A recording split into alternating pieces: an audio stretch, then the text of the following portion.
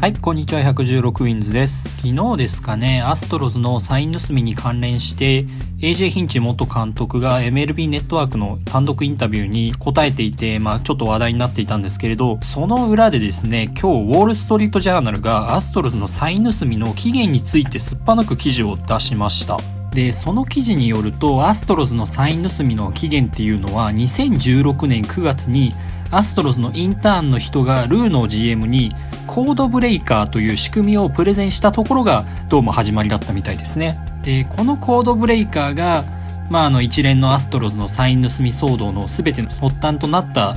まあ、仕組みみたいなんですけれど、ただこれまでアストロズのサイン盗みっていうのは、まあ、どちらかといえば、まあ、ゴミ箱叩きに象徴されるように、まあ、選手が主導して行ってきたというところが、まあ、言われていた中で、まあ、今回の記事でコードブレイカーという仕組みがもう2016年9月時点でルーの GM に対して、まあ、あの紹介されていたというところでどちらかというとですね選手主導というよりもチームのフロントもグルになってサイン盗みが主導されたというところでアストロズというチームの、まあ、組織としての腐敗が露呈されるような記事になっていたんですけれど、まあ、今回はですね、そのウォールストリートジャーナルの記事の内容についてちょっとご紹介していこうかなと思います。はい。まずですね、コードブレイカーの仕組みについてご紹介していこうかなと思います。コードブレイカーはですね、非常に仕組み自体がシンプルなものになっていまして、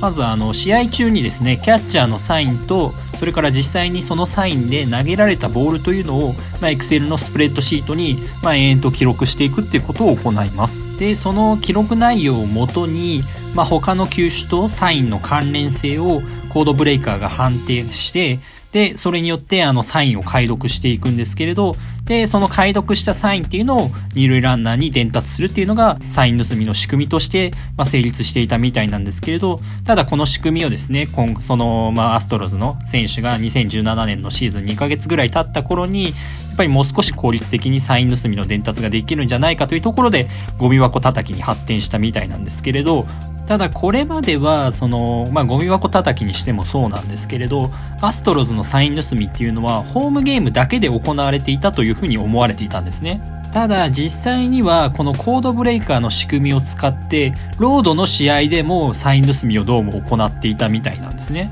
で、ロードでもサイン盗みしていたってなると、これはまた大きなスキャンダルになりかねないですよね。やっぱりどっちかっていうと、これまでアストロズのその批判の対象になっていたっていうところは、やっぱりホームゲームの勝率だったり、あの打者の成績が、まあ異常に良かったっていうところが何かと挙げられると思うんですけれど、ロードの試合でも実際にはやっていたってなると、まあ話は別ですよね。で、ルーの GM もサイン盗みをしていることはどうも認知していたみたいなんですね。ルーの GM はこれまでサイン盗みに関しては選手主導が行ってきたことであって自分は一切関与していないってことを一貫して主張していたんですけれど、ただ実際にはですね、このコードブレイカーのプレゼンの時には実際にコードブレイカーがどういう仕組みで動くかに関しての質問をしていたみたいですし、またあのアストロズのあのスタッフの一人であるトム・コックウェサーという方がいるんですけれど、まあこの方は結構その先進技術の関連の,、まあ、あの部署にいる結構偉い人みたいなんですけれどそのコックウェサーによると、まあ、ルーノーが何度かこうシーズン中にビデオルームに入ってきた際に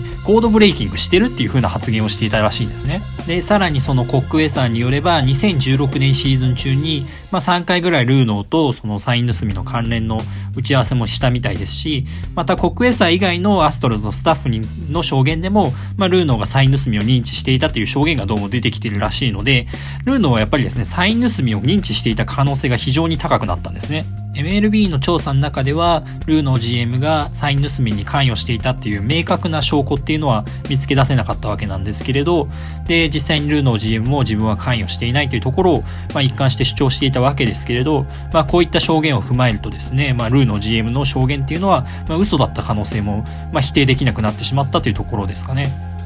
で、さらにですね、ルーの GM に対して、コックエサーがメールを2通ほどサイン盗み関連で送っているみたいなんですけれど、そのメールの内容っていうのも今回ウォールストリートジャーナルの記事の中で明らかになりました。で、いずれも2017年中に送られたメールなんですけれど、まず1通目が5月24日に送られたメールでして、で、それは結構長文なメールで5ページぐらいにわたる、まあ、メールだったみたいなんですけれど、そのメールの中にザ・システムと題された箇所があるみたいなんですね。で、そのザ・システムというところには、まあ、コックウェサー曰く、まあ、サイン盗みを含む、まあ、アストロズの隠密な動きに関する、まあ、ことをいろいろと記載したみたいなんですけれど、ただルーの GM はこれら、まあ、このメールに対して、まあ、これらは素晴らしいよと。で、ヒンチ監督がどの程度認識しているのと返信したらしいですね。で、ルーの GM はその後ですね、このメールに関しては、まあ、前、序盤の方は読んだけれど、後半の、まあ、ザ・システムとかのところ、ところに関しては、ほとんど読んでいないと、あの、MLB の調査の中で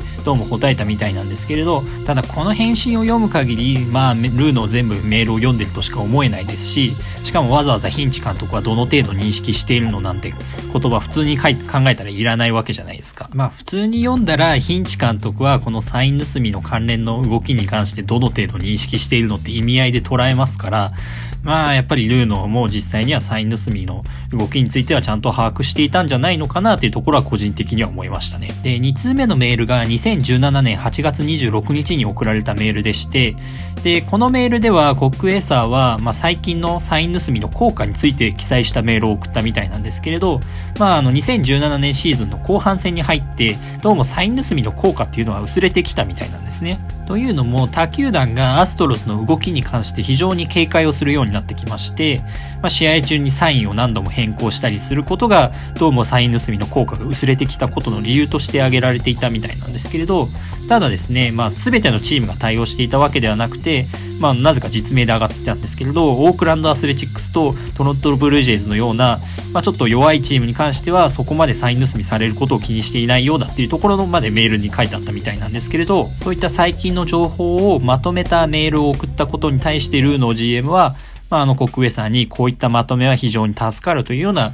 返事をどうも送ったみたいですね。まあ、ルーの GM は依然としてサイン盗みへの関与を否定しているわけですけれど、まあ、こういったメールですとか、あとは先ほどの関係者の証言なんかも踏まえると、まあ、ちょっと言い逃れできない状況なんじゃないのかなというのが個人的に今回の記事を読んで思いましたね。で今回のウォール・ストリート・ジャーナルの記事というのはアストロズの組織としての腐敗を露呈するような形になりましたよね関係者の行為を見てもやはり組織として全くサイン盗みに対する罪の意識が植え付けられていませんしでしかもですねトップであるはずのゼネラルマネージャーのルーノーもまあ、あの、サイン盗みという行為を助長してしまうような、まあ、返事だったりをしていたわけですから、やっぱりですね、アストロズというチームが腐敗していたというのはちょっと言わざるを得ない状況だったみたいですね。で、アストロズは先日、ルードの後任として、新しいジェネラルマネージャーを、まあ、ジェームス・クリックという方を、あの、雇ったんですけれど、まあ、このクリック氏を中心にですね、まあ、腐敗しきったアストロズの組織を、